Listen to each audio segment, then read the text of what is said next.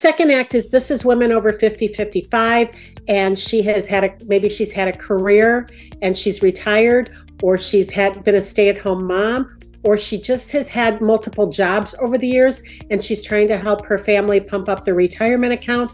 But what I know about her as well is that was who I was, Neil. And I was starting my second act at 53. I woke up one morning and I thought, shit, I am not middle aged because chances are I am not going to live to 106 right? So I'm like, if I'm not going to create what I know I'm capable of now, I will never do it.